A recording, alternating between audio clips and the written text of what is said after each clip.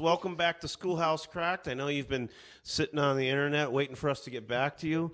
Dr. Marcus Motor Chandler, uh, professor of all things good and uh, advisor to me both as a as a parent. You're going to find out in this episode, and as a professional. I really look forward to what you have to say today in today's episode about uh, going to college and how to get kids there. Yep. So it's that time of the year, folks. Um, whether you're teachers in a school, administrators in school, or parents at home, uh, nervous about where your kid might be going to school, um, uh, where they're going to college, or setting your young student up to be prepared for college. Um, this is something where this is kind of where my roots are, Brett. Yeah. You know, I started in public uh, public education as a counselor, and, and specifically a college and career counselor. Yeah. Um, and, and so I'm really more interested in hearing kind of uh, your perspectives as a dad. Yeah. Um, knowing that you have three children, kind of in the the peak areas, the prime areas of post secondary college going readiness. Yeah. Um, in uh, having a middle schooler, uh, young high schooler, and an old high schooler. Yeah, yeah. Uh, here, here's the funny deal, though, folks. If you have missed previous episodes, which I, I, I doubt that any of you have missed this at all, but Dr. Marcus Motor Chandler and my wife uh, began their careers really together. My wife was a young uh, young guidance counselor, and they did a job share. And um, essentially, my wife was a college and career counselor and an expert in this process, along with Dr. Marcus Motor Chandler. So this is a this is something that in our world we've actually. Uh, and I'm not going to get into our other business, Yeah, but we, yeah. but we've actually earned income on, on on on helping people with this decision. So I have an eighth grader, a tenth grader, and um, a junior. And right now, I'm gonna I'm gonna work my way youngest to oldest. My my eighth grader at this point in time uh, is a good student. My college and career uh, pathway for for her is for us Well, to I'm gonna pause you there, though, Brett. What is her perspective on that? Because you said your plan for her. Let's start with where her plan is for herself, and then get into your Did plan. you just punch me in the gut right there? I did. I think you I punched you in something. Uh, if it landed. But no, start with where she's at, That's and then I'd like you to get where you're at. Okay, uh, her where she is at is just in all of the hearsay of her her siblings, her parents, her cousins, her friends. Um, So tell- the youngest hearing all these kind of other yes, thoughts. and just and just like you know, I I know this might sound cheesy, uh, Marcus, to you, but you know, you as you know, we do watch a lot of college football, and in our house, if you watch college sports, uh, every college competition they allow each of the competitors to have a commercial, not allow, but or they purchase or whatever. But there's there's always an advertisement for that university yeah, of to to the audience. So if if we're gonna and most of those are big state schools. Yeah. that are primarily football schools. They're not small liberal arts private schools. Yeah, yeah. yeah, correct. But they they do a, a really great job of pre- presenting themselves as career pathways and academically. They they move away from the the being in the crowd and into the unique things that they can offer because they're big or whatever. in this particular case, so I guess that's that's where where my daughter is. Is my daughter knows she's going to go to college. Mm-hmm.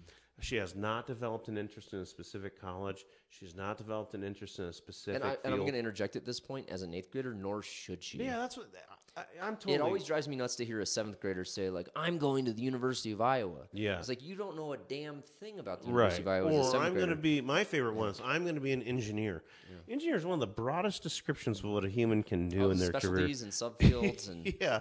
Uh, so so we're at that point with her, but I guess in in our household and in her school, in the school district we're in, there's this constant reminder that you're on the college pathway, and if you continue, you're going to get somewhere Mm-hmm. in that big system. Um, my middle son is. Well, I mean, let's circle back to your youngest though. Go ahead, So it, w- it, when you're at the dinner table at home as a parent, and she comes home, and it, it- when there's generally a dialogue around life, or careers, or college, in eighth grade, what does that look like when, with you and your youngest? Uh, that that looks like I mean this is I mean just to be honest I mean she has said these words I will not go where my brothers are going Okay.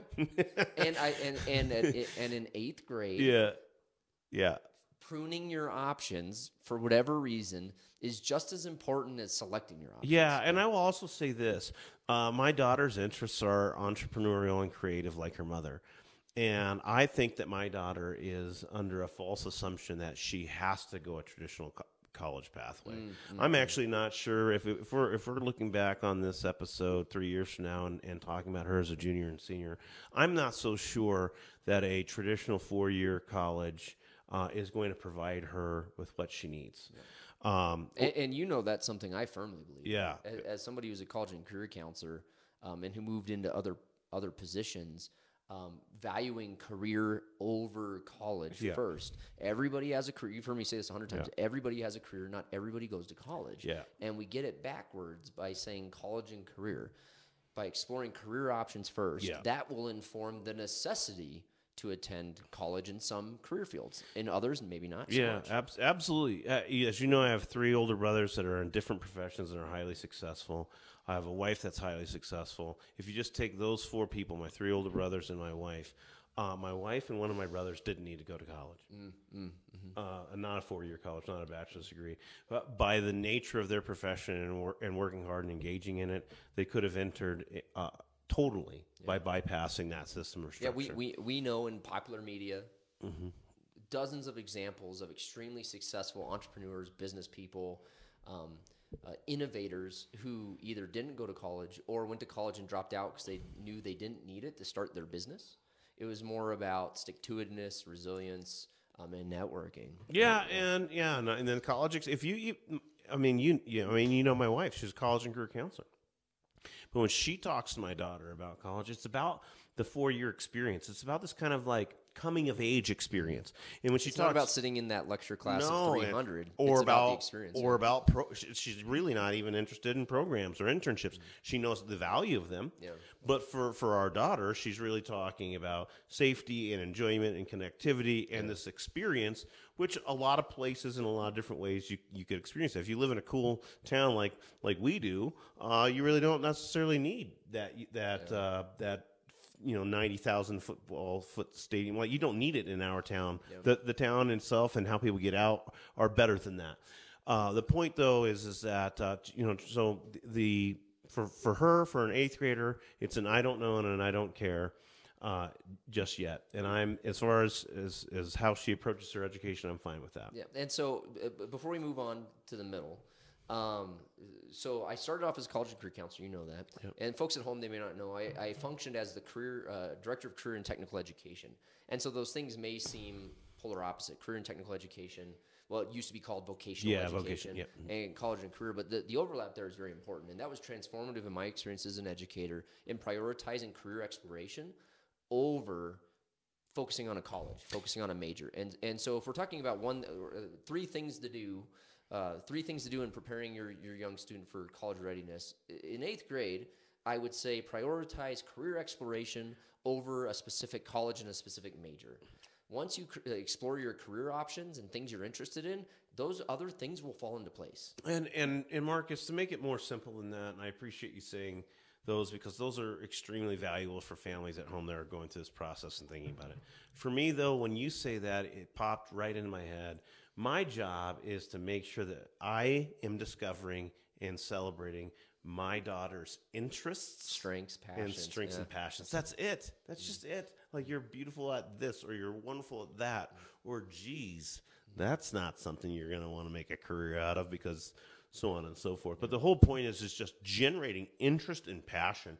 Uh, you know, I don't, I don't know that if I'm any good at being an assistant principal, and I have no idea if I was an Ah, excellent. you have your good days. Oh yeah, or an excellent teacher. But what I can tell you is that I get up every morning with a fire, a fervor for what I'm doing, and and I guess that's all I really want for my kids is that their education allows them to pursue that. Yep, absolutely. Um, but you know, my middle son is um, So, so yeah, now that we've laid the foundation, assuming just some exploration around passions, interests, strengths, now you have a 10th grader. Yeah, yeah. And so here's the deal on him. Again, this is uh, you know, this is a weird thing to say. We're talking about a, a child that is six foot four inches tall, 225 pounds, and is an excellent athlete. He really might actually be a Division One college athlete. I'm going to pause you there because that's what every parent says, but go, keep going. Yeah, no, no, no, no. And I, I But he is he is a very talented. No, and I yeah. and I get that, and I, I can tell you as somebody who has three older brothers that were Division one college athletes, and I too went to college to, to uh, at a Division One school to play baseball. I can tell you that at least the genetic piece of that. He is uh, a skilled athlete. Yeah, he has that, but it's that's not the conversation in the house. That's not the meal ticket. Yeah, it, it's not, and it's not the conversation in the house. It, it, it's it really doesn't pay for shit. It sometimes drains the college experience. Uh, one of the sports that he plays is baseball. Uh, baseball players in, in spring semester miss like fifty to sixty percent of their class time. It does it if it doesn't lead to professional athletics, which it won't in my kid's case. It leads to like actual overstress Yeah. on on on earning your degree. But the whole the whole point though is that my son's gifts as a 10th grader are extremely hard to measure academically. He's creative. He is compassionate. He has empathy.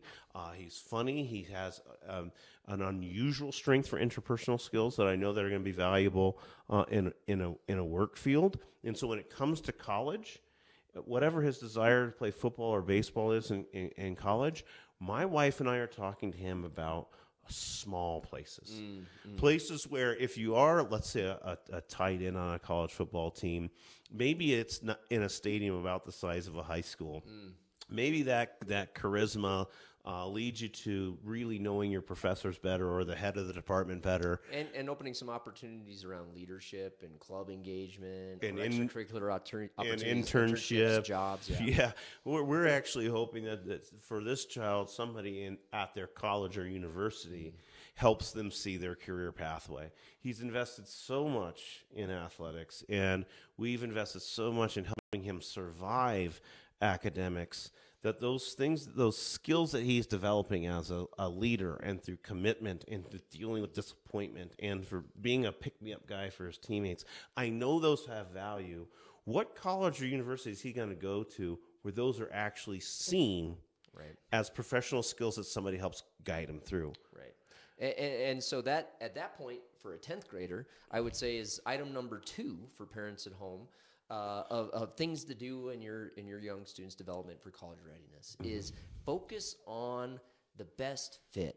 So you're in 10th grade, you're starting to maybe explore some options, maybe some career fields, maybe some majors, maybe some universities, but focusing on the holistic experience and not getting hung up on a brand name. So like Brett, you said you watch uh, college football on Saturdays and you see all those fancy commercials, it's easy for parents to get hung up and kids to get hung up on a brand name. Yeah. I'll, I'll, I'll provide this example. Um, I have a cousin, much younger than me, really should be my nephew, if anything, um, and wanted to be an engineer. We, we just said engineers have this huge level of specialization in subfields um, and was hung up on going to CU Boulder, University of Colorado Boulder. Um, and I don't have anything against University of Colorado Boulder. no great ma- engineering programs Great engineering program, major university, um, but wanted to go there for the culture. And what really he was saying is he wanted to go to CU to party.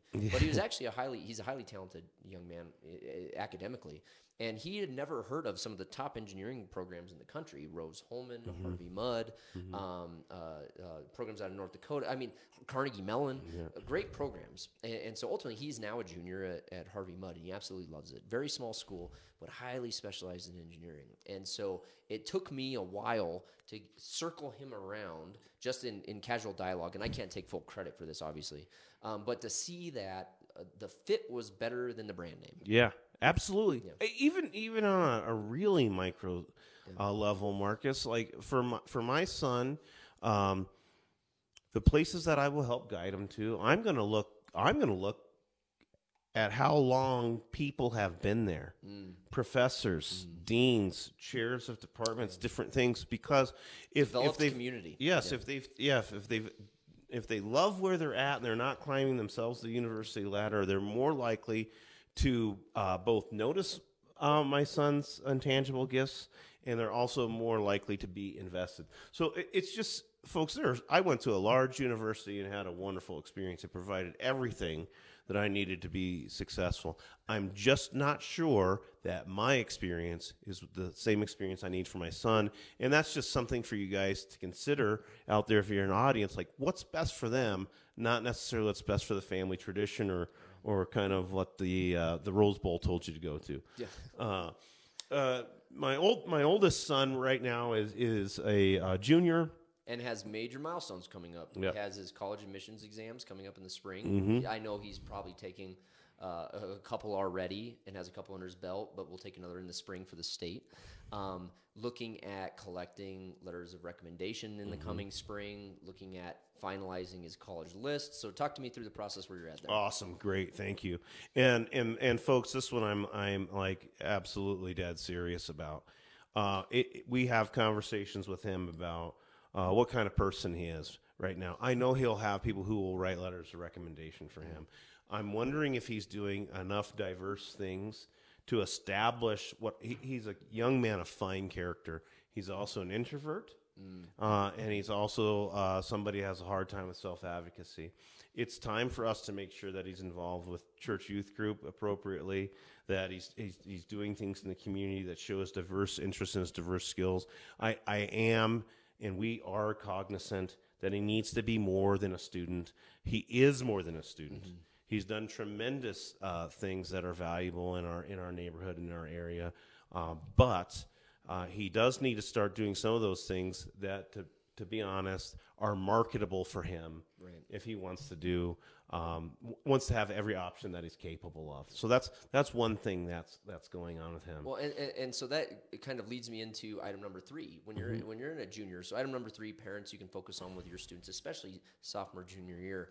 Um, when you say trying to increase marketability or or admi- admis- uh, admissions likelihood, um, it is very evident to admissions folks on on an application things that the student did just to increase the likelihood of being admitted and not because they actually cared about it. So as your student is engaging in things that are that are important to them rather than add uh, do 10 activities to get on your resume and make you looking for admissions focus on two things that you actually care you give a damn about. Your your kid loves is an expression of their passion is generally related or even if it's unrelated something they're they're invested in they're passionate about and they would do even if they weren't trying to apply to college. Yeah, absolutely. Uh, uh, as, especially as a whole person, you and you and I have gotten into things, and I'm sure if people do watch us regularly or listen to us regularly, they're, they're probably able to develop an understanding of where we're at on, on some of these spectrums, a political spectrum uh, in particular. But uh, it it doesn't matter where you're at on an ideological or political spectrum.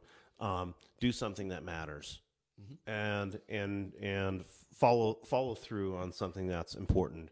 Um, it's it's okay to be unique. Take take the initiative, um, and so that's that's where we're at uh, with with that child is is helping him see the the wonderful things that he is and can do, and asking him to be more intentional at this point about following through on some of those things and being a little bit more uh, diverse. We're also at the stage right now where we're, we're going to uh, college visits. Yep, absolutely. And those are are laden with all kinds of things because we have minor investment in their college education. Like a lot of, of people out there, we are terrified of college debt. Mm, and so one of the things that we are doing with this child is talking to him about what he wants to do.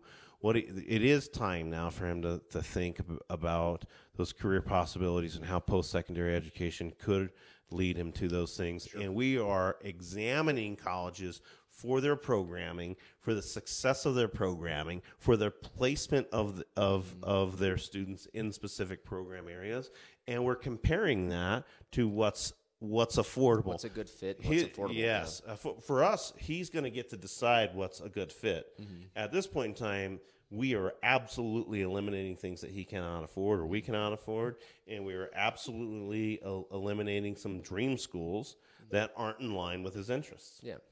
Yeah. I, I mean, everybody wants to attend Harvard, but if Harvard doesn't have your major, Yeah. there's no point in attending Harvard. Right. And so that leads me into one other point I'm going to make before we wrap up this episode, Brett. Is uh, uh, I had a, a, colleague, a boss at one point, and and uh, firm believer in career and technical education. But the the thing I ke- kept hearing is uh, career exploration needs to happen. We need kids to figure out what they're going to major in, what they're going to study in in high school before we send them to college because college is too expensive, and it's too expensive to, for them to figure it out once they get there, like we may have done when we were that age. And I call bullshit on that for a couple reasons. Um, the National Center for Education Statistics has in 2021 and 2020 only 64% of students nationwide in a four-year degree graduate in six years Oof. In six years. So yes, there's cost associated with that, but forcing that down to your your youngest, forcing your eighth grader to engage in a four year career path in high school next year, where she's tied to those classes and has to figure that shit out as an eighth grader, is asinine. Yeah. That she still needs the opportunity to explore her passions, her interests, and when you pigeonhole a kid into that, you you. We're not solving the problem. If the problem is college affordability, the solution is not forcing an eighth grader to figure out what they want to major in in ninth grade and then putting them into a career and technical education pathway.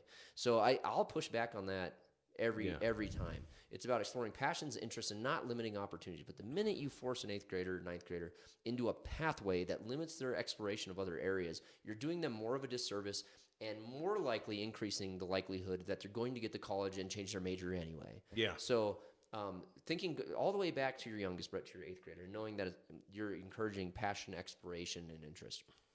Uh, give me give me one thing that you're going to do in the next week with each one of the, your your kids at, the, at the ages they're at to further this dialogue for college readiness. Yeah, I think for my eighth grader, it is to continue to notice uh, the things that she does outside of school that I know that she loves, and help her figure out how those are uh, related to school. Find a find a problem and solve it. Yeah, yeah. yeah, and just or just I love this, and I'm like, well, where do you get to love this at school, and and just And if know, not, how can we expand on it outside? yeah, of school? or just it doesn't even. I don't even need to put pressure on the school to to meet her needs for passion. I just need her to understand that maybe the school can't meet the needs for her passion or interests, and that's actually okay. yeah, absolutely. Yeah, you know they don't. They don't. I don't expect. Uh, I think she's entrepreneurial Mm-hmm. in her approach, and I do not expect her middle school to start a business program next absolutely. next semester. So the whole point is just is is just to keep her excited about what she's excited about. So I'm gonna uh, do that in the next week. Um, What about your middle? with my middle son, I'm going to I'm going to let him know that um, there is a real downside to playing college sports, Mm-hmm. and I just I just want them to know the realities of it. I'm going to pull up. as glamorous as No, I'm going to pull up a, a, a fi- well, you and I have seen the statistics so many times. We've had these conversations Mm-hmm. with so many kids, but I am going to pull up exactly how little money he's going to get for being an athlete. I am going to pull up exactly how few um, students uh, play four years at a university. There's a whole lot of people like myself who entered into Division One college sports and didn't play more than a year. I played a year. Yeah, Yeah, so it's it, you know like what how many people actually follow uh, through through with it? And I'm I'm also gonna just say, hey hey bud, you've had a tough quarter, and it's because you got laryngitis, and then after you got laryngitis. He had like a stomach bug for a single day. This essentially meant that he missed four days this semester. That crushed his grades. Yeah. And I'm going to let him know hey, laryngitis is also a baseball schedule. Yeah. It also means you're not in Right, school. absolutely. Uh, and I think with with my oldest, I'm just going to uh, take him to some places um, and let him experience actual activities on campus instead of the traditional college visit. I don't know if it means us going to a play or it means us going to a ball game or if it means us going to like one of those museums or just walking around at night so he can see the college scene. But I think that my son, he's an introvert, he's a do-gooder, he's going to be successful no matter what college he goes to. I think he really needs to find a place. He where needs to see himself there. Yes. Yeah. Yeah. Um, and, and so, folks, we know not everybody has the opportunity to travel to a college campus, but there are tons of opportunities for virtual tours, Mm-hmm. um, d- having Zoom sessions with current students, alumni, professors, sitting in on a class remotely, and so seeing yourself there. That's, that's Yeah. I think, a great. I'm gonna I'm gonna tell you what I'm not going to do, and or what I'm gonna stop doing. Okay. Yep. I'm gonna I'm gonna stop projecting my pathway onto my kids. I've I've done a great that's a I've done I've done a everywhere. great job of telling them all about their dad, Uh, and I've done a, a, a great job of of reinforcing my own learned experience. It's it's uh, my big stop doing, and I challenge this for families out there is to is to stop making them feel like they have to follow in their father's footsteps. If they know my values and my principles, they're gonna they're going to utilize them or, or not. As an eighth grader, tenth, yeah, as an eighth grader, tenth grader, and eleventh grader, I think it's time for me to help them just uh, discover what they're interested in. What are what are, what are your final takeaways? Your absolute dues? So the three things, the absolute dues, are more tied to what the age of your child is. And so for the eighth grader, continuing to prioritize passions, interests, um, and, and allowing opportunities to really hone that in. The career, the major, that'll come from exploring those passions. Um, number two, uh, looking for fit. Rather than looking at that brand name of a college or I went there, I want my kid to go there. What's the right fit for my kid, knowing that my kid is a unique individual? And what may have been right for me when I was 18 is very, very different 20 years later than was right for my 18 year old. And then finally, um, exploring for the oldest, for the junior, exploring places that they can see themselves on campus. If you can go to campus, great. If you can do that remotely, that's fine as well. But beginning to find a place where you fit, you belong, and if you're an introvert, an extrovert, you have one skill set or another, you can lean into those, apply them, and over your four years in college or six years in college, um, lend those towards a career path. So those are the kind of the three takeaways, three keep doings, depending on the age of your child. Yeah, and and so thank you again for joining us here at Schoolhouse Cracked, Dr. Marcus Motor Chandler, my uh, your career and college counselor. You work with college students. You now help people get into uh, school counseling. And my guess, my uh, challenge to you uh, this week or this semester is to is to really push those soon to be college and career counselors and soon to be school counselors into really uh, understanding that there's not an a squared plus b squared equals c squared when it comes Yeah, to choosing a a college. formula. So this is uh, part one of an ongoing series regarding college and college admissions. Um, be sure to tune into our next episode. Brett, this is actually our very last episode in this recording studio. Yeah, yeah, we're moving on up. We're like the Jeffersons. You're gonna notice some serious quality changes, and and we're moving on up. So we want to thank our listeners, our viewers, those that provided feedback. Um, we're in a place where we can expand the quality of our programming, some additional opportunities. So stay tuned. Um, next time you see us, we'll be in a new location covering some of our same topics. With me, as always, Mr. Brett Derickson, parent of three students, all going different pathways, all great pathways. Um, and I always really appreciate hearing your opinion as, Yeah. a, as a as a parent, Brett. Yeah, my good friend Dr. Motor Chandler doesn't mind throwing grenades at me and making me feel like I've uh, actually uh, pushed my kids in the exact opposite direction we talk about. So be sure to like us on Facebook, subscribe to our YouTube channel, download us on all your favorite podcast channels. Send us your thoughts, comments, and feedback. Where are your kids at in the college going process, parents? Schoolhousecracked at gmail.com. We'll see you in our new studio.